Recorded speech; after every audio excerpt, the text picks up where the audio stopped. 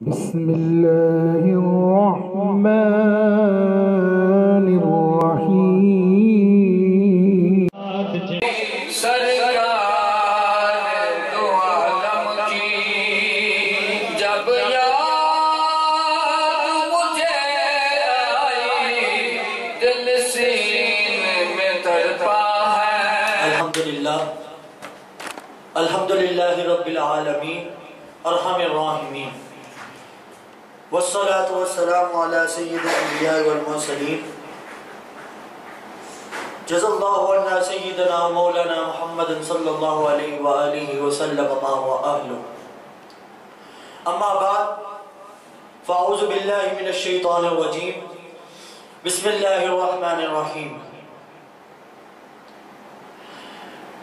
इन्नल्लज़ीन युज़ून अल्लाह व रसूलहु लअनहुमुल्लाहु फिद दुनिया वल आखिरह सदक़ल्लाहु मौलाना अज़ीम बारकल्लाहु लना व लकुम फिल कुरआनिल अज़ीम इन्नल्लाह व मलाइकतहु युसल्लूना अलन नबी या अय्युहल्लज़ीन आमनू सल्लु अलैहि व सल्लिमू तस्लीमा अस्सलातु वस्सलामु अलैका या सय्यदी या रसूल अल्लाह व अला आलिका व अस्हाबिका या सय्यदी या हबीब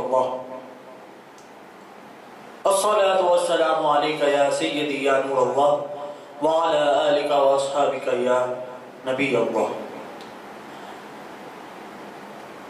आज जिस हस्ती के बारे में मुझे लबकुशाही का मौका मिला, उस हस्ती का नाम सैदना इमाम हुसैन अलैहिस्सलाम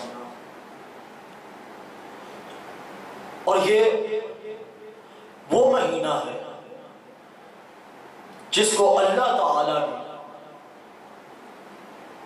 हदीस कुदसी में अल्लाह ताला ने इशार फरमाया, शाहरुल्लाह हुआ शाहरुल मुहर्रम कि अल्लाह का जो महीना है, वो मुहर्रम अल हराम है।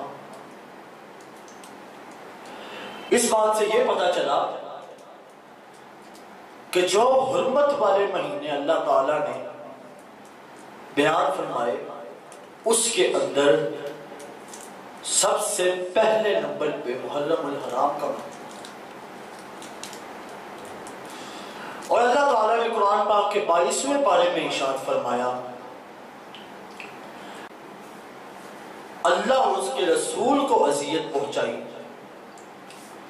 तो उस पर अल्लाह की दुनिया में भी लानत और आखिरत में भी लानत। दुनिया में तो लानत समझ में आती है। रसवाई होगी जिल्लत होगी सब कुछ समझ में आता है। लेकिन आखिरत के अंदर जो रसवाई होगी उसका मंजर क्या होगा वो कैसी रसवाई होगी हजूर सल्लल्लाहु अलैहि वसल्लम ने इरशाद फरमाया कि जब जहन्नम की आग नहीं जलेगी ना, जब जहन्नम की आग नहीं जलेगी तो अल्लाह ताला फरिश्तों को हुक्म देगा कि जिसने अल्लाह और उसके रसूल को अजियत पहुंचाई है, जिसने हजूर सल्लल्लाहु अलैहि वसल्लम के खिलाफ गलत बयानी फरमाई है, उसको मैदान हशर में लाओ। और दिया सिलाई की तरह उसको पूरे मैदान हशर में रगड़ो। जब फरिश्ते हुक्म खुदाबंदी की तकमील करते हुए ऐसा अम्र करेंगे तो उस दिया सलाई की तरह घसीटे जाने वाले बंदे से जो आग पैदा होगी, अल्लाह ताला उस आग से जहन्नम की आग को चलाएगा उसे भड़काएगा। ये होगी आखिरत में रसवाई और जिस बंदे ने तोबा कर ली तो अल्लाह ताला इशार फरमाता है कि तुम तोबा कर करके, गुनाह करके, फिर तोबा करके, गुनाह करके, फिर तोबा करके, गुनाह करके, फिर तोबा करके मांग मांग के उकसा सकते हो, तंग आ सकते हो, लेकिन मैं वो रब हदीस है? मैं वो रब हूँ, जो तुम लोगों को माफ़ कर करके कभी भी तंग और उकसा नहीं सकता। मैं कभी भी तंग और उकसा नहीं सकता। अल्लाह ताला ने इरशाद फरमाया जिसने अल्लाह उसके रसूल को अजियत पहुंचाई। रसूल को तो समझ में आता है लेकिन अल्लाह को अजियत कैसे पहुंचाई? अल्लाह को अजियत कैसे पहुंचाई? यहाँ पर हजूर अक्रम वसल्लम की हदीस है कि जिसने अहले बैत से मोहब्बत की, उसने मुझसे मोहब्बत की, और जिसने मुझसे मोहब्बत की, उसने अल्लाह से मोहब्बत की। और जिसने अहले बैत से नामोहब्बती का इजहार किया अहले बैत को नुकसान पहुँचाने की कोशिश की। उसने मुझे नुकसान पहुँचाने की कोशिश की। और जिसने मुझे नुकसान पहुँचाने की कोशिश की, उसने अल्लाह को नुकसान पहुँचाने की कोशिश की। अरे, कौन कहता है कि अहले बैत का ज़िक्र कुरान में नहीं आया? हदीसों तक महदूद है। नहीं। अहले बैत का ज़िक्र कुरान में भी आया, हदीसों में भी आया, तमाम जहानों के अंदर और कयामत आने तक हज़रत इमाम हुसैन की कुर्बानी और अहले बैत की कुर्बानियों के चर्चे होते रहेंगे। उनके चर्चे होते रहेंगे। फिर अल्लाह ताला ने जब इस आयत में अहले बैत का ज़िक्र किया तो फिर वाजे क्यों नहीं किया? इसलिए नहीं किया क्योंकि अल्लाह ताला ने फरमाया कि जिसने हमने इसके अंदर, कुरान पाक के अंदर अपनी निशानियों को वाजे, खुला और तफसील से बयान किया है। और जिस निशानियों को हमने बयान किया है, उसके अंदर अकलमंदों के लिए कोई ना कोई राज, कोई ना कोई नसीहत पोशीदा है। यहाँ पर मैं अब आपको हज़रत इमाम हुसैन सलाम के बारे में बताना चाहता हूँ। हज़रत इमाम हुसैन इकसठवीं हिजरी, दस मुहर्रम हराम का दिन, उनकी शहादत हुई। उनकी शहादत हुई। और कुर्बान जाए कि दस मुहर्रम हराम को कितनी फजीलत हासिल है। कितना उसका मकाम और मर्तबा बुलंद है कि आपको मैं चंद वाकयात बताकर बताना चाहता हूँ कि हज़रत इमाम हुसैन का जो दस मुहर्रम हराम का जो दिन है, उसकी मुनासिबत से दीगर वाकयात क्या क्या हो हज़रत आदम सलाम तौबा कबूल हुई, वो दिन भी दस मुहर्रम हराम का दिन था। हज़रत यूनुस मछली के पेट में गए, जब उन्होंने तौबा के लिए ये दुआ मांगी, ला इलाहा इल्ला अंत सुबहानका इन्नी कुन्तु मिनज़ ज़ालिमीन। वो दिन भी दस मुहर्रम हराम का दिन था। हज़रत यूसुफ सलाम के भाइयों ने जब यूसुफ सलाम को कुएँ में डाला तो उधर से जब बादशाह का लश्कर आया तो उन्होंने जब कुएँ में से पानी निकालते वक्त हज़रत यूसुफ सलाम को बाहर निकाला, वो दिन भी दस मुहर्रम हराम का दिन था। हज़रत ईसा सलाम को जब अल्लाह ताला ने ऊपर की तरफ़ उठा लिया, ज़िंदा उठा लिया, वो दिन भी दस मुहर्रम हराम का दिन था। वो दिन भी दस मुहर्रम हराम का दिन था। और कुर्बान जाए हज़रत इमाम हुसैन सलाम पर कि उनकी शहादत भी दस मुहर्रम हराम के दिन हुई। और उससे बढ़कर और क्या बात हो सकती है कि कयामत जिस दिन बपा होगी, वो दिन भी दस मुहर्रम हराम का दिन होगा। वो दिन भी दस मुहर्रम हराम का दिन इतनी मुनासिबत है दस मुहर्रम हराम का और इस इतना मकाम मरतबा उसका बुलंद है। हज़रत अबू हुरैरा रदी अल्लाह जिससे बहुत ज़्यादा अहादीस बनवी है, वो ये बयान करते हैं, हजूर सल्लल्लाहु अलैहि वसल्लम ने इतनी ज़्यादा वाज तौर के ऊपर हज़रत इमाम हुसैन सलाम के बारे में निशान नहीं फरमा दी थी। कि इनको मेरी उम्र शहीद कर देगी।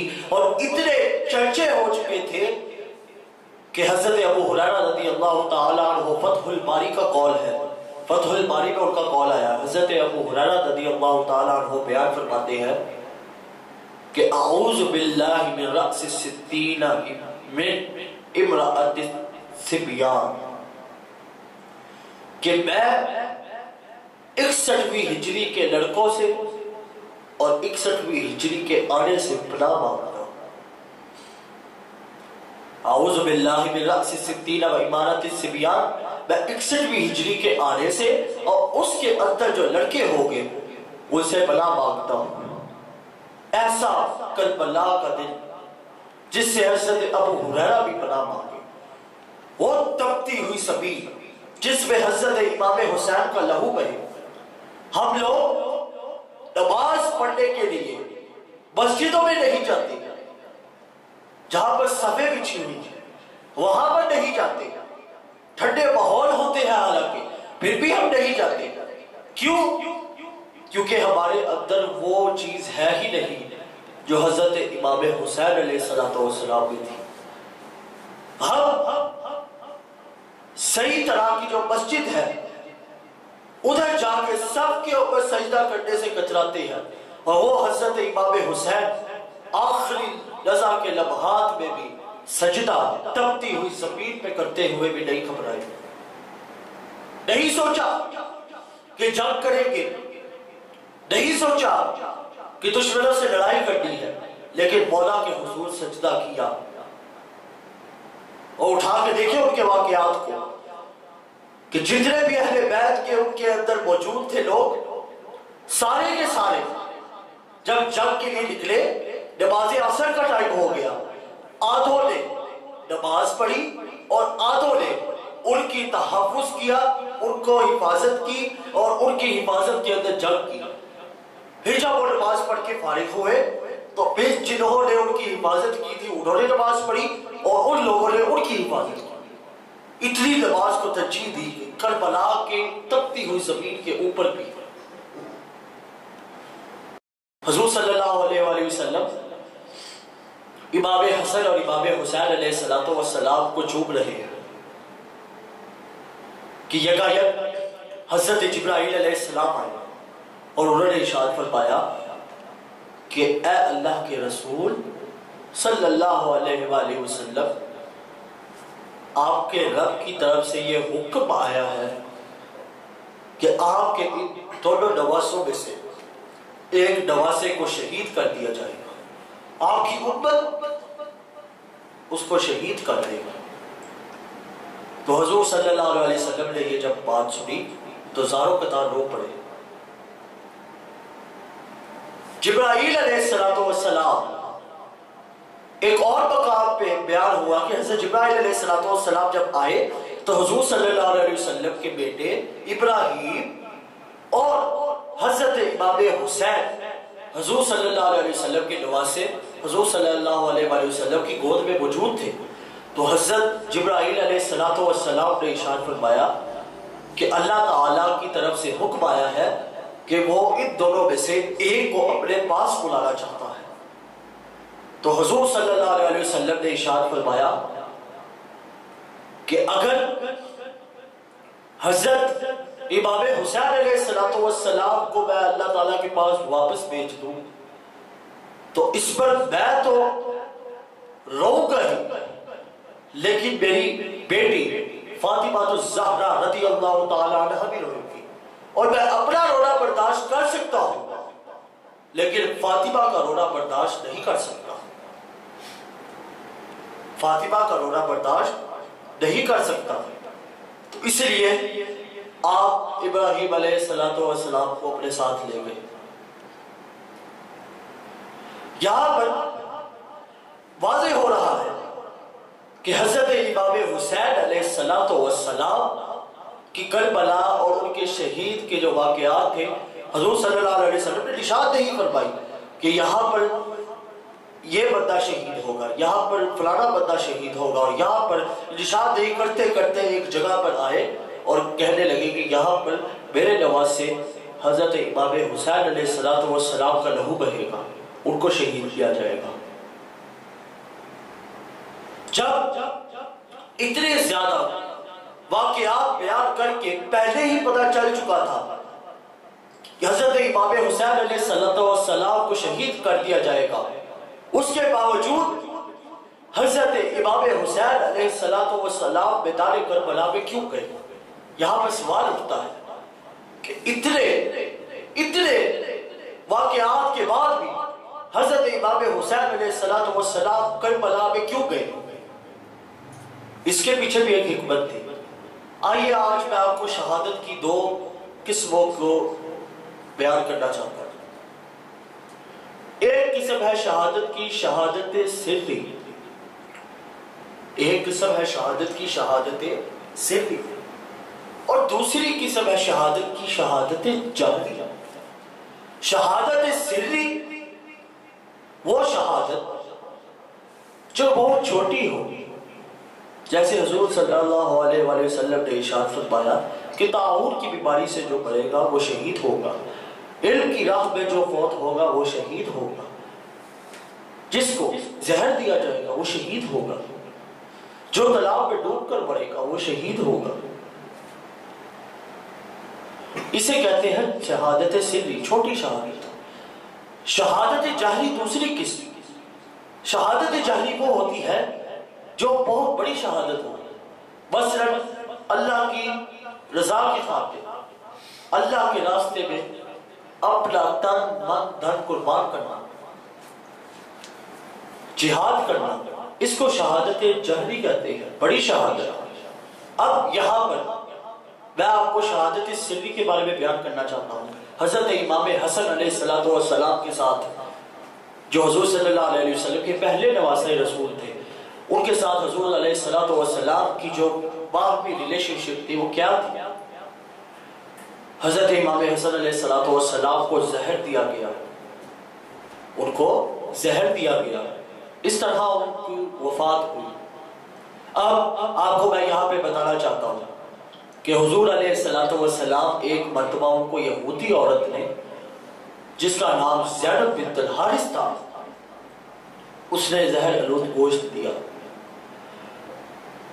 जहर अलूद गोश्त जब हजूर वसल्लम के खाने से पहले एक सहाबी, जिसका नाम बशीर बिन अरा रदी अल्लाह था उन्होंने जब वो गोश्त खाया तो वो उसी मौके के ऊपर शहीद हो गए। इतना तेज तरीन जहर उसके अंदर मौजूद था। लेकिन जब हजूर सलाम ने उसका एक नवाला लिया तो वो नवाला खुद बोल पड़ा कि इसके अंदर जहर मिला मिला हुआ है। इसके अंदर जहर मिला हुआ है। हजूर सल्लल्लाहु अलैहि को बचा लिया गया। क्यों? क्योंकि अल्लाह ताला ने इशार फरमाया था कुरान पाक के अंदर, वल्लाहु यासिमुका मिनन नास कि अल्लाह ताला आपकी लोगों के से हिफाजत फरमाएगा। लेकिन जब तवील अरसे के बाद आपको पता है हजूर वसल्लम हज़रत आयशा को फरमाते हैं? कहते हैं कि मुझे जो मेरी रूह मुनकते होगी, वो लगता है मुझे उस जहर अलूद गोश्त की वजह से होगी। ऐसी निस्बत हज़रत इमाम हसन के साथ हजूर सल्लल्लाहु अलैहि वसल्लम की, ये थी शहादत सिर्री। अब शहादत जहरी पे आई हज़रत इमाम हुसैन सलाम हजूर सल्लल्लाहु अलैहि वसल्लम नमाज़ पढ़ा रहे हैं। सजदा तवील हो गया। साहबा किराम ने सोचा कि हजूर सलाम ने कभी इतना तवील सजदा नहीं फरमाया। क्या माजरा बाद साहबा किराम के जहन में आया कि लगता है कि हजूर सलाम पर वही नाजिल हो रही एक साहबी बीच में से उठे और उन्होंने देखा यह सोचते हुए कि हो सकता है कि हुजूर सलाम सजदे से उठ गए हो और हमें पता न लगा हो। लेकिन जब देखा तो हुजूर सलाम बदस्तूर सजदे में थे। बदस्तूर सजदे में थे। लेकिन साहबी कहते हैं कि जब मैंने थोड़ा सा और ऊपर देखा तो हज़रत इमाम हुसैन सलाम हजूर वसल्लम के ऊपर थे। हजूर सलाम के ऊपर थे। जब हज़रत इमाम हुसैन उनके ऊपर से हटे, तब उन्होंने सजदे से सर उठाया और नमाज़ मुकम्मल की। तो सहाबी रसूल ने रसूल वसल्लम से पूछा कि अल्लाह के रसूल, मेरे माँ बाप आप पर कुर्बान। आप हज़रत इमाम हुसैन सलाम से इतना प्यार करते हैं क्या आपने उनकी खातिर सजदा तवील फरमा दिया? उनकी खातिर सजदा तवील फरमा दिया। तो हजूर सल्लल्लाहु ने इशार फरमाया कि सुनो, हुसैन आला हुसैन हुसैन मुझसे है और मैं हुसैन से हूँ। हुसैन मुझसे है और मैं हुसैन से हूँ। यहाँ पर एक बात समझ में नहीं आई कि किसी का बाप अपने बेटे को बोले कि तू मुझसे है। समझ में तो आता है। लेकिन अगर कोई अपने बाप अपने बेटे को कहे कि मैं तुझसे हूँ, इसकी बात की समझ नहीं आती। इसकी बात की समझ नहीं आती। हज़रत इमाम हुसैन सलाम के साथ हजूर सल्लल्लाहु अलैहि वसल्लम ने जब ये अकीदत का इजहार किया तो इसमें भी एक हिकमत रखी। हिकमत क्या थी? क्योंकि अल्लाह ताला ने कुरान पाक में नबी करीम सल्लल्लाहु अलैहि वसल्लम की चार शानें बयान की। मिनन नबी जी व सिद्दीकी व शुहदा व सालिहीन कि हुजूर अलैहि सलातो व सलाम नबियों में से, शहीदों में से, सालिहीन में से, और सच्चों में से, सिद्दीकीन में से, नबियों में से है, सिद्दीकीन में से है। सालिहीन में से है, लेकिन शहीदों में से। यह बात समझ में नहीं आई कि हुजूर शहीदों में से कैसे हो गए। वो तो ज़ाहिर तौर पर शहीद नहीं हुए थे। हिकमत क्या है? हुसैन बिल्ली वो आना नहीं हुसैन। हुसैन मुझसे, मैं हुसैन से। हिकमत यह है कि करबला दस मुहर्रम हराम के दिन करबला के अंदर नेजे पर हज़रत इमाम हुसैन का सर चढ़ेगा। नेजे पर हज़रत इमाम हुसैन सलाम का लहू बहेगा करबला की तपती ज़मीन पर हज़रत इमाम हुसैन सलाम के जो दस से सर जुदा किया जाएगा, वो करबला के अंदर होगा। लेकिन दूसरी तरफ़ कुरान पाक की हुजूर वसल्लम की चौथी शान की तकमील होगी हुजूर सल्लल्लाहु अलैहि की चौथी शान की तकमील होगी पता ये चला कि हजूर वसल्लम को हज़रत इमाम हसन अलैहिस्सलाम और हज़रत इमाम हुसैन अलैहिस्सलाम से कैसी निस्बत थी, कैसा रिलेशनशिप था, कैसी बात और रब्त थी, कैसी मोहब्बत थी। कि ये हकीकत अकीदत और मोहब्बत का इजहार फरमाया और हज़रत इमाम हुसैन अलैहिस्सलाम जब उनका सर नेजे से पर था, जब उनका सर नेजे पर था तो सहाबी फरमाते हैं, एक सहाबी फरमाते हैं कि एक कहने वाला कह रहा था अब हसिकता पंद्रहवें पारे की की आयत अब हसिकता अन्ना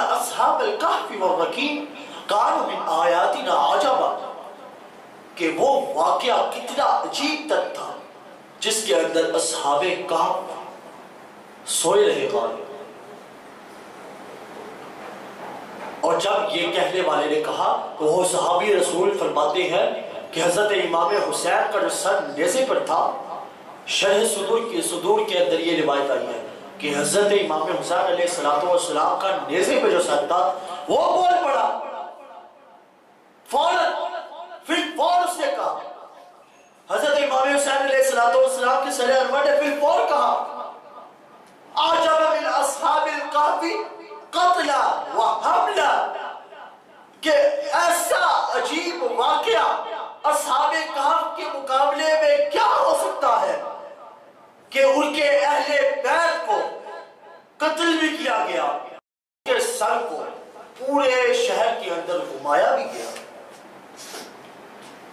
उनके शहर, जो सरे अनवर था, उनको पूरे शहर में घुमाया भी गया। यह था सरे अनवर का जवाब दही करना।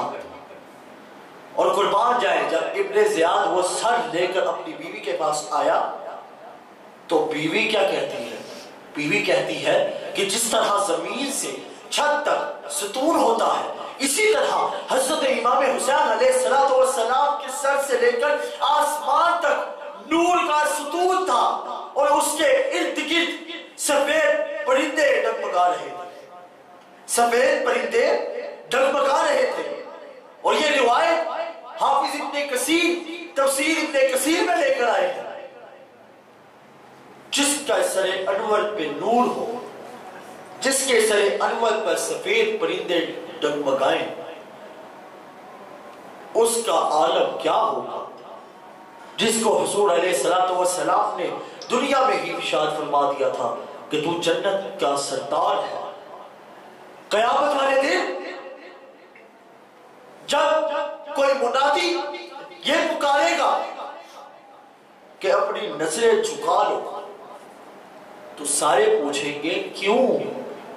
नज़रें हम क्यों झुकाए तो फिर फौर जवाब आएगा कि तुमको खबर नहीं कि हज़रत इमाम हसन और इमाम हुसैन सलाम की वालिदा यहाँ से गुजरने वाली है। किसी की ज़रूरत नहीं होगी कि नज़र उठाकर देखे, जिसकी माँ का यह आदम होगा। जिसकी माँ को यह इज़्ज़त और तकरीब दी जाएगी, उनके बेटों की क्या इज़्ज़त और तकरीब होगी, ये अल्लाह जानता है या उसका रसूल जानता है? ये अल्लाह जानता है या उसका रसूल जानता है? ऐसा हज़रत फातिमा तो जहरा का लाल, जिसने दीन की परवाह की, जंग करनी होती तो मैदान करबला में मदीना से पूरी फौज लेकर जाते और देखते, तारीख देखती कि कैसे उनको शिकस्त होती है। शिकस्त नामुमकिन थी। सिर्फ़ और सिर्फ़ इसलिए गए क्योंकि नाना का दीन बचाना था। क्योंकि नाना का दीन बचाना था। इसलिए शायद ने क्या खूब कहा जरा जो दिल से ये कहा, बता कि क्या हुसैन है? जरा जो दिल से ये कहा, बता कि क्या हुसैन है? सदा ये आई जान ले, सदा सदा हुसैन है। बशर से चल बशीर तक, बता मैं कितने डाब लू? बशर से चल बशीर तक, बता मैं कितने डाब लू? बड़े बड़े ये कह गए, बहुत बड़ा हुसैन है। बड़े बड़े ये कह गए, बहुत बड़ा हुसैन है। अजब लड़ी है जंग भी। हुसैन ने यजीद से। अजब लड़ी है जंग भी। हुसैन ने यजीद से। अब इससे बढ़कर जीत क्या? यजीद था, हुसैन है। अब इससे बढ़कर जीत क्या? यजीद था, हुसैन है। अब इससे बढ़कर जीत क्या? यजीद था, हुसैन है। और आगे जो शायर ने कहा, वो तो कमाल ही करती शायर कहता है, वो जितने बाग कमाल है, सभी की सब मिसाल है। वो जितने बाग कमाल है, सभी की सब मिसाल है। कोई नहीं हुसैन सा हुसैन सा, हुसैन है। कोई नहीं हुसैन सा हुसैन सा, हुसैन है। हुसैन मिट सके हर यजीद की कोशिश थी। हुसैन मिट सके हर यजीद की कोशिश थी। यजीद मर गया मगर जगह जगह हुसैन है। यजीद मर गया मगर जगह जगह हुसैन है। ये रसूल सल्लल्लाहु अलैहि वसल्लम के नवासा रसूल हज़रत इमाम हुसैन अलैहिस्सलाम की शान।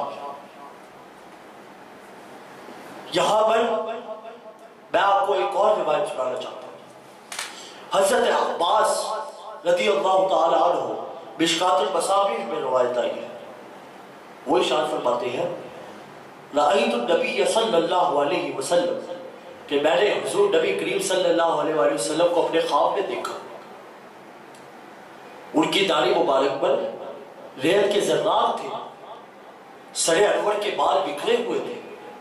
सरे अनवर के बाल बिखरे हुए थे। और उनके हाथ में एक शीशी थी, जो खून से भरी हुई थी। उनके हाथ में एक शीशी थी जो खून से भरी हुई थी। मैंने तड़प के पूछा, फिदा का उम्मी व अभी, या रसूल अल्लाह कि आप पर मेरे बाप बाप कुर्बान है अल्लाह के रसूल, ये क्या माजरा है? तो हजूर अलैहिस्सलाम ने इशार फरमाया कि मेरे जालिम उम्मत ने मेरे नवासे रसूल हज़रत इमाम हुसैन अलैहिस्सलाम को शहीद कर दिया। और ये शीशी में मैं अहले बैत के तमाम जो लहू है, उनको जमा कर रहा हूँ। यहाँ पर कोई ये ना कहे कि एक शीशी के अंदर तमाम अहले बैत के लहू कैसे जमा हो गए कोई ये ना कहे कि एक शीशी के अंदर हजूर सलाम ने सारा दिन तमाम अहले बैत के लहू कैसे जमा कर ली है?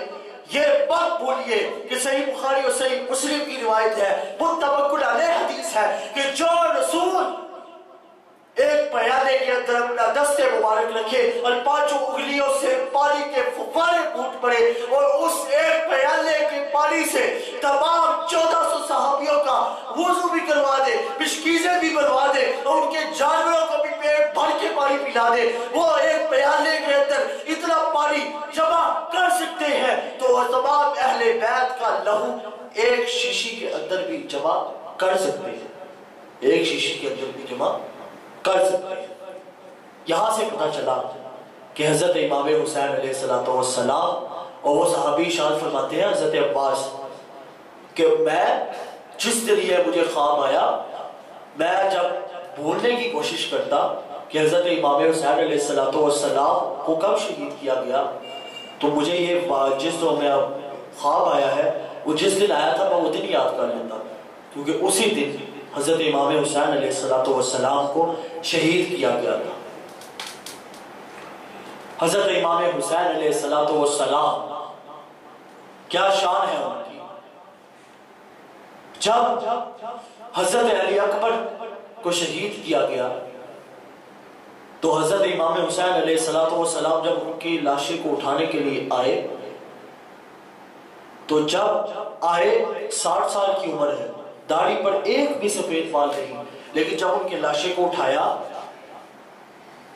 तो उठाते ही उनके सारे बाल चश्मे जदन में सफ़ेद हो गए। सारे बाल चश्मे जदन में सफ़ेद हो गए। जब जब यह वाक्य हुआ तो शायर की रूह तड़पी। शायर ने कहा, हुसैन, एक दिल नशी कहानी। हुसैन, एक दिल नशी कहानी। हुसैन, दस्तूर हक का बानी। हुसैन, एक दिल नशी कहानी। हुसैन, दस्तूर हक का बानी। हुसैन दिल है, हुसैन जा है, हुसैन कुरान की जुबा है। हुसैन दिल है हुसैन जा है, हुसैन कुरान की जुबा है, जो उठा रहा है लाश अकबर, जो उठा रहा है लाश अकबर, हुसैन बूढ़ा नहीं, जवान है। जो उठा रहा है लाश अकबर, हुसैन बूढ़ा नहीं जवा है। तो पता ये चला कि हज़रत इमाम हुसैन सलाम के जो बाल सफ़ेद हुए, वो गम की वजह से हुए थे। हकीकत तौर के ऊपर हज़रत इमाम हुसैन सलाम जवान थे। हज़रत हुसैन सलाम जवान थे। हज़रत इब्राहिम और हज़रत इस्माइल। जब हज़रत इब्राहिम सलाम ने हज़रत इस्माइल सलाम उनकी वालिदा बीबी हाजिरा को मक्का मुकरमा के सहन में छोड़कर गए। तो सफ़ा मरवा वाक्य आपने सुना हुआ है। सफ़ा मरवा की उन्होंने भाग दौड़ की, पानी की तलाश में नहीं मिला। लेकिन जब हज़रत इसमाइल सलाम ने एड़ी रख तो पानी का फुवारा फूट पड़ा, जो क्यामत तक बंद नहीं होगा। अब आपको मैं बताता हूँ। हज़रत इमाम हुसैन सलाम यजीद ने पानी बंद कर दिया। यजीद ने पानी बंद कर दिया। चाहते तो एड़ी मारते इतना पानी आ जाता कि सारा मैदान करबला पानी से भर जाता। लेकिन ऐसा नहीं किया। क्यों? क्योंकि मिसाल बनना चाहते थे। रोल मॉडल बनना चाहते थे। पूरी इंसानियत के लिए, पूरे आगे कयामत तक आने वाले लोगों के लिए अगर चाहते तो एड़ी मारकर पानी मंगवा सकते थे, लेकिन ऐसा नहीं किया। लेकिन अल्लाह को, इमाम हुसैन सलाम से इतना प्यार है कि जब उनके सर पर उनके जिस्म मुबारक को कब्र के अंदर डाला तो ऊपर से जब मट्टी डाली तो उनके जो सर अनवर था, वहाँ से एक पानी का ऐसा मुबारा निकला, जो अभी तक दायम है। जो अभी तक कायम दायम है।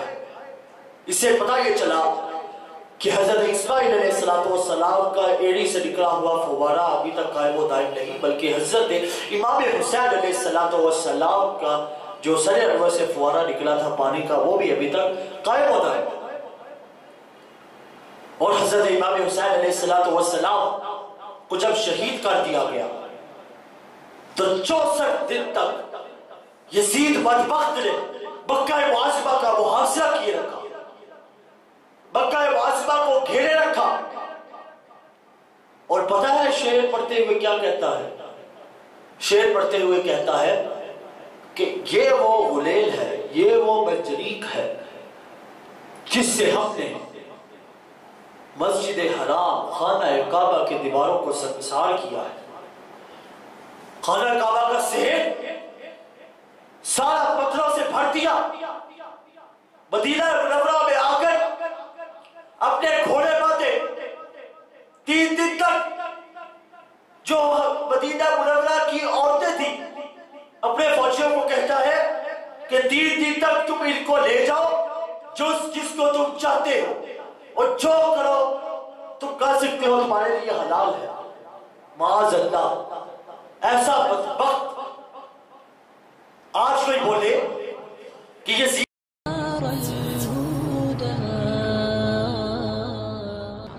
मजार को सजदा हराम है। मजारों पर सजदा करना कब्रों के सामने हराम है। आ, मजार को सजदा हराम है। मजारों पर सजदा करना कब्रों के सामने हराम है। समझ आई? गैरुल्लाह के सामने सजदा करना हराम है। सजदा ताजीमी भी हराम है। मजारों का तवाफ करना भी हराम है। चूमना मौलाना अहमद रजा साहब के फतवा के मुताबिक नाजायज है। समझ आई? गैरुल्लाह के सामने सजदा करना हराम है। सजदा ताजीमी भी हराम है। मजारों का तवाफ करना भी हराम है।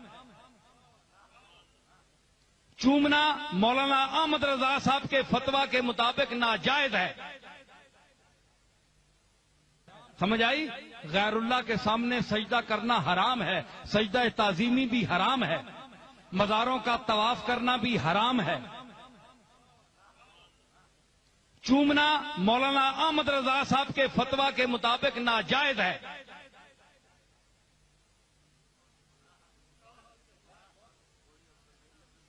बहरहाल, पीर मेर अली शाह साहब ने भी मना किया है। मैं आपको किताब का हवाला दे सकता हूँ। उन्होंने कहा कि खवास को भी मैं मना करता हूँ को न चूमे, क्योंकि अवाम देखकर फिर सजदा शुरू कर देते हैं। ये एहतियात है। लेकिन पीर मेरे अली शाह साहब ये नहीं है कि अगर कोई बोसा दे दे तो उसको काफिर समझते थे ये भी गल ही ना जरा हूं बोसा चाह दे जनाब वो काफिर हो गया ये गल ही गलत है ਤੇ ਅਸਾਂ ਨੇ ਜਿਸ ਤਰ੍ਹਾਂ ਮਜ਼ਾਰਾਂ ਤੇ ਲੋਕ ਠਈ ਪਏ ਹੋਣੇ ਜਨਾਬ ਉੱਤੇ ਸਿਰ ਸੱਟੇ ਹੋਣੇ ਨੇ ਉੱਠਣੇ ਨੇ ਮੱਥੇ ਰਗੜਨੇ ਨੇ ਹੈ ਜੀ ਤੇ ਇਹ ਵੀ ਅੱਲਾ ਨਾ ਵਾਸਤਾ ਨੇ ਇਹ ਵੀ ਮਨ ਹੈ ਇਹ ਵੀ ਗਲਤ ਹੈ हजरत शाह अब्दुल हक मुहदस देलवी आख्या शाह अब्दुल हक मुहदस देली इतना बड़ा शेख हर बंदा उसू मनता है उस आख्या मसनून एवे के हजूर दे आ, अपने उसके सामने खलो के ते फातिहा पढ़ो हाथ भी ना लाओ मैं इबारत देना शेख दी हाथ भी ना लाओ और खल के मुंह दे पासे फातिहा पढ़ के चुप करके चले जाओ ਇਹ ਤਰੀਕਾ ਹੈ ਔਰ ਇਹ ਹੀ ਅਹਿਮਦ ਰਜ਼ਾ ਮੌਲਾਨਾ ਅਹਿਮਦ ਰਜ਼ਾ ਸਾਹਿਬ ਵੀ ਲਿਖਿਆ ਹੈ ਲੇਕਿਨ ਹੁਣ ਜਨਾਬ ਕਬਰਾਂ ਤੇ ਟਹਿ ਟਹਿ ਕੇ ਹੁਣ ਉੱਤੇ ਵੱਟੇ ਹੋਣੇ ਨੇ, ਨਹੀਂ ਤੇ ਥੱਲੇ ਜਿਹੜੇ ਮੈਤਾਂ ਨਾਲ ਹਾਲ ਹੋਇਆ ਉਹਨੇ ਅਸਾਂ ਪਤਾ ਹੈ ਜੋ ਜਿਸ ਤਰ੍ਹਾਂ ਇਹ ਜੋ बुजुर्गानियाँ मजारत इस तरह भी बेदबियाँ ना करया करो। आ, मजार को तो सजदा हराम है। मजारों पर सजदा करना कब्रों के सामने हराम है। चमक चमक के उत्ते टहने ते उन्होंने तालीमात ते एक बंदा भी अमल नहीं करना। है जी? ते इस किस्म ने मुशरकाना अकायद ना रखो। ते इस ए बड़ा बेदार जेन दौर है इस विच हर बंदा समझदा है ਇਹ ਸਾਹਿਬਜ਼ਾਦਿਆਂ ਤੇ ਪੀਰਾਂ ਨੂੰ ਖੁਦ ਤਬਲੀਗ ਕਰਨੀ ਚਾਹੀਦੀ ਹੈ ਆਪਣੇ ਮੁਰੀਦਾਂ ਨੂੰ ਦੱਸਣਾ ਚਾਹੀਦਾ ਹੈ ਚਮਕ ਚਮਕ ਕੇ ਉੱਤੇ ਟਹਿਨਨ ਤੇ ਉਹਨਾਂ ਦੀ ਤਾਲੀਮਾਤ ਤੇ ਇੱਕ ਬੰਦਾ ਵੀ ਅਮਲ ਨਹੀਂ ਕਰਨਾ ਹੈ ਜੀ ਤੇ ਇਸ ਕਿਸਮ ਨੇ ਮੁਸ਼ਰਕਾਨਾ ਅਕਾਇਦ ਨਾ ਰੱਖੋ ਤੇ ਇਸ ਇਹ ਬੜਾ ਬੇਦਾਰ ਜ਼ੇਨ ਦੌਰ ਹੈ ਇਸ ਵਿੱਚ ਹਰ ਬੰਦਾ ਸਮਝਦਾ ਹੈ समझ आई गैरुल्लाह के सामने सजदा करना हराम है सजदा ताजीमी भी हराम है मजारों का तवाफ करना भी हराम है। चूमना मौलाना अहमद रजा साहब के फतवा के मुताबिक नाजायज है।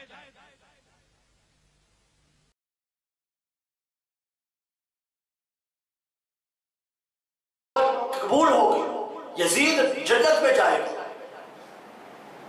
कैसे मुमकिन है? जो शराब पिए, जुआ खेले जाडी हो। जिना करे, खिलाफे काबा जलाए, मदीना मुनवरा की बेहरमती करे। अपने घोड़े मदीना मुनवरा में तीन दिन तक बाँध के रखे। मस्जिद हराम के जहन को पत्थरों से भर दे। उसको ईमान नसीब हो ही नहीं सकता। अरे वो नबी, जिसका रोना हज़रत इमाम हुसैन सलाम का रोना नबी को पसंद नहीं। नबी को अजियत देता है तो उसका कटना, लहू बहना, उस नबी को कैसे पसंद होगा? उस नबी को कैसे पसंद होगा? ये वो हुसैन है, जिसके दादा सैयदुल अंबिया है, जिसके बाबा सैयदुल औलिया है, जिसकी माँ सैयदतुल है, जो मदीने में पैदा हुआ। जमाना जिसका शैदा हुआ, जिसको माहे मुबीन कहती है रोशन जबी कहती है, अमीरुल मुमिनीन कहती है, इमाम बेहतरीन कहती है, शहीदों का ताजदार कहती है शाह सवारों का सालार कहती है, सदाकत की यलगार कहती है, इमाम हसन का प्यार कहती है, आकर करीम अलैहिस्सलाम का दिलदार कहती है, जहरा करार कहती है, हैदर करार का इफ्तिखार कहती है, शाह बशीर कहती है, फातिमा का नूरे कहते हैं और खुदा की कसम जिसको अर्श और फर्श वाले इमाम हुसैन कहते हैं।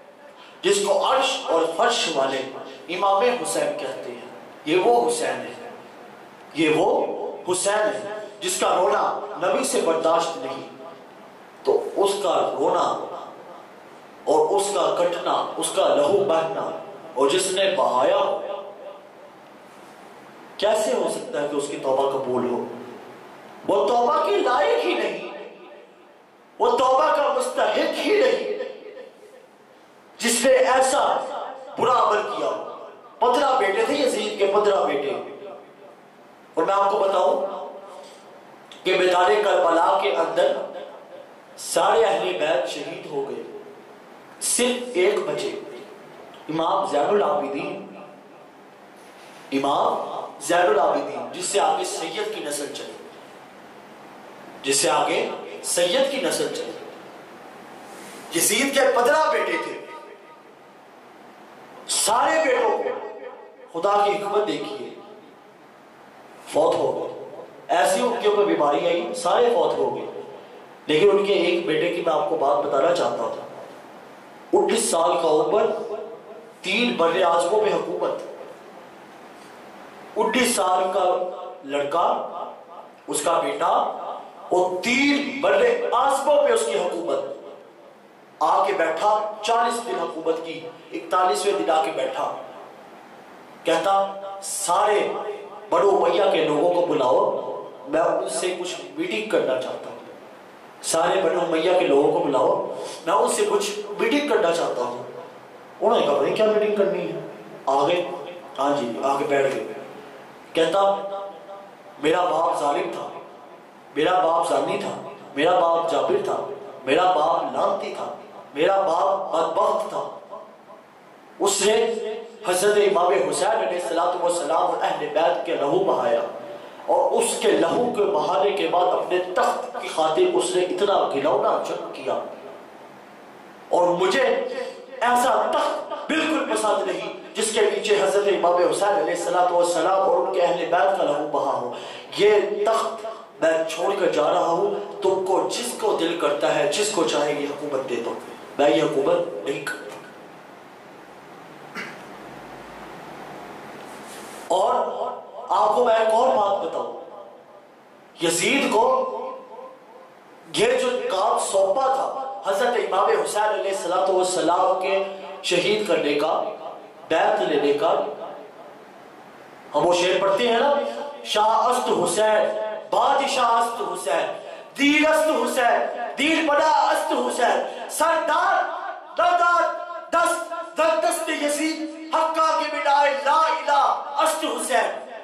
सर दे दिया, लेकिन दस्त मुबारक यजीद के हाथ में नहीं दिया।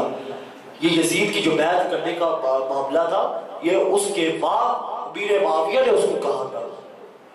अबीर माविया ने जब उसको हुकूमत दी अमीर बनाया, उसको कहा कि चार बंदों से तुमने बैत लेनी है, अगर तुम चाहते हो कि तुम्हारी हुकूमत चले, तुम्हारा तख्त बचे।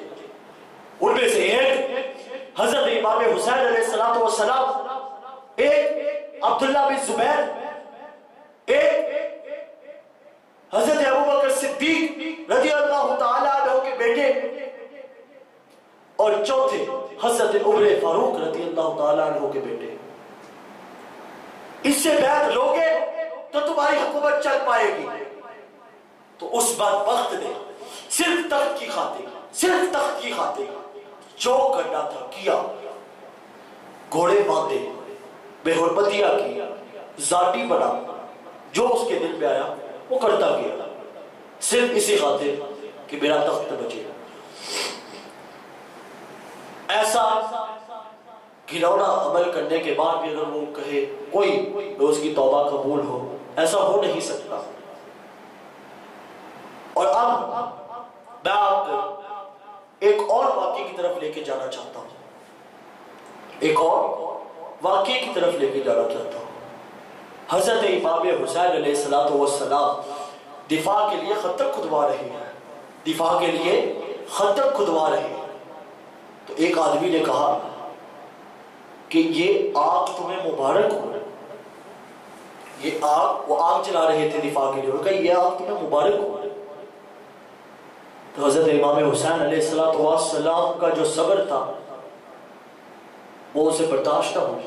उसने कहा, हज़रत इमाम हुसैन सलाम को जब उसने कहा कि आग आपको मुबारक हो, हज़रत इमाम हुसैन सलाम ने कहा कि तू इस आग में चल कर रिवायत में आता है कि उसका घोड़ा उसको लेके कभी इधर जाए, कभी उधर जाए, कभी इस तरफ़ दीवार में लगे, कभी उस तरफ़ दीवार में लगे। लगते लगते इतना लहू लुहार हो गया था उसकी जान इतनी निकलने के करीब थी, लेकिन निकल नहीं रही थी कि उसको आखिरकार उसी आग में फेंक दिया गया।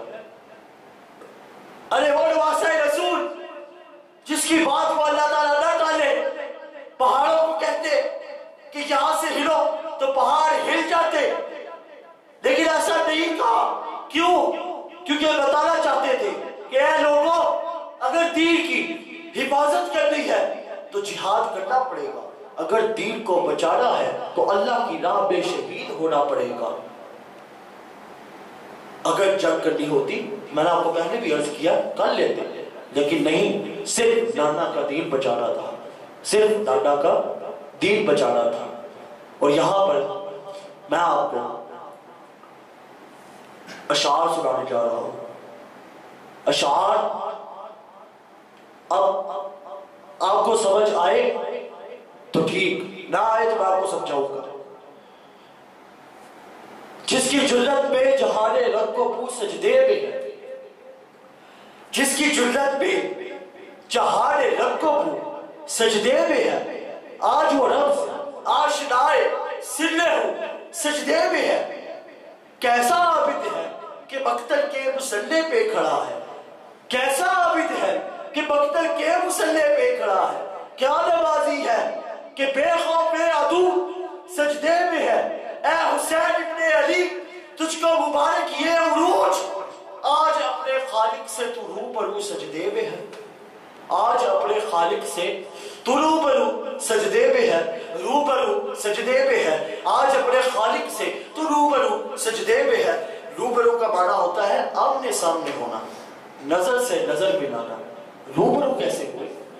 सजदे में सर रखा। रूबरू कैसे हुए? यहाँ पर मेरे आका सलाम का फरमान, और मेरा ये यकीन है कि पूरी कायनात का सूरज अद्धा हो सकता है। मशीक से की बजाय मगरिब से सूरज निकल सकता है। आसमान चीज़ सकता है। पहाड़ फट सकते हैं। ज़मीन फट सकती है। हर नमुमकिन चीज़ मुमकिन हो सकती है। लेकिन मेरे आका सलाम की कही हुई बात कभी काबिल कबूल और कभी गलत नहीं हो सकती। मेरे आका सलाम की जो बात एक मत में निकल गई वो कभी भी गलत नहीं की जा सकती। मेरे आका सलाम ने इशाद फरमाया कि जब तुम सर रखो तो ये मत समझो कि सर चटाई पे है, ये मत समझो कि सर कारपेट पे है, ये मत समझो कि सर जो है, वो किसी कालीन के ऊपर है, बल्कि ये समझो कि जब मैं सर रखता हूँ, मेरा सर मेरे मौला के कदमों में है। मेरा सर मेरे मौला के कदमों में है। तू सजदा करे तो ये समझे कि सर मौला के कदमों में है।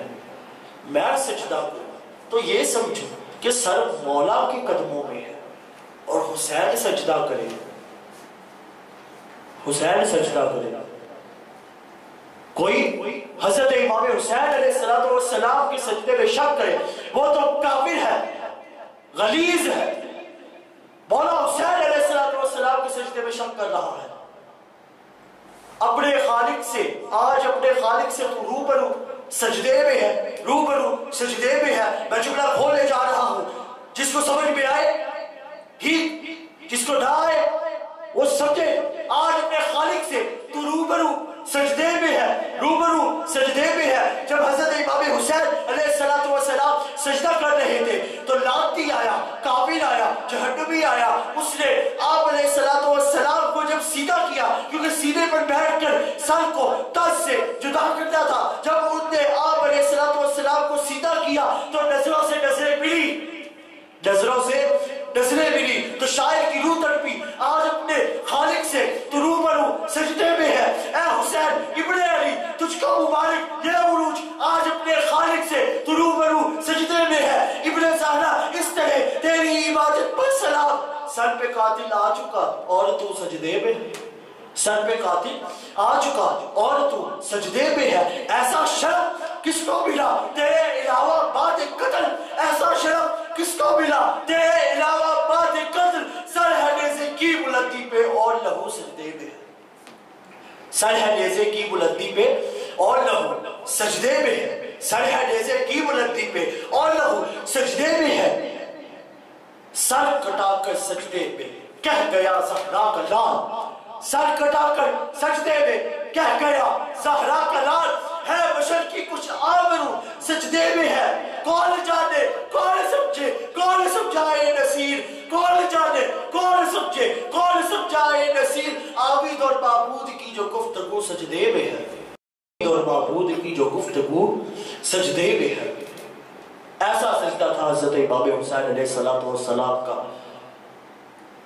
और इस सजदे के बाद और इस वाक्य करबला के बाद ये कहना पड़ता है कि कतले हुसैन असल में मरके यजीद है। कतले हुसैन असल में मरके यजीद है। इस्लाम ज़िंदा होता है। हर करबला के बाद इस्लाम ज़िंदा होता है। हर करबला के बाद ऐसी करबला हज़रत इमाम हुसैन सलाम को पा करके कि अब कयामत तक जितने भी करबला बपा होती रहेगी, इस्लाम को तकवीयत मिलती रहेगी, इस्लाम ज़िंदा होता रहेगा। इस्लाम ज़िंदा होता रहेगा। हज़रत इमाम हुसैन सलाम की शान जितनी बयान की जाए, उतनी कम है। जितनी बयान की जाए, उतनी कम है। जो वाक़ करबला उनके साथ गुजर चुका है। यजीद, वो कुछ लोग कहते हैं कि कुछ ऐसे बंदे हैं जो जो हार कर भी जीत जाते हैं। कुछ ऐसे लोग होते हैं हार कर भी जीत जाते हैं और कुछ ऐसे लोग होते हैं जो जीत के भी हार जाते हैं। यजीद जीत कर हार गया। कयामत तक यजीद का नाम लेने वाला कोई नहीं। सब हज़रत इमाम हुसैन का ज़िक्र करेंगे। और हज़रत इमाम हुसैन सलाम जाहिरी तौर पर तो हार गए थे यजीद से, लेकिन बातनी तौर के ऊपर वो फतह का मेरानी नसीब हुई उन्हें कयामत तक उनके चर्चे रहेंगे उनके ज़िक्र को कोई खत्म नहीं कर सकता। उनके ज़िक्र को कोई खत्म नहीं कर, कर सकता। हज़रत इमाम हुसैन सलाम ऐसी शख्सियत थी वो। ऐसी शख्सियत थी वो। अल्लाह पाक हज़रत इमाम हुसैन सलाम और अहले बैत से हमें मोहब्बत की तोफ़ी अता फरमाए और अहले बैत से ऐसी वफा करने की तोफ़ी अता फरमाए जिसके बाद क़यामत तक आने वाली उम्मत इसी तरह उनकी शान बुलंद करती रहे और उनकी शान जितनी भी हम बुलंद कर लें, अल्लाह ताला ने उनकी शान जितनी बढ़ा दी है और बढ़ाता जा रहा है, हम उतनी भी शान बयान नहीं कर सकते। अल्लाह ताला हमें उनके साथ वफा की तोफ़ी अता फरमाए। आमीन। वाखिर दावाना अल्हम्दुलिल्लाह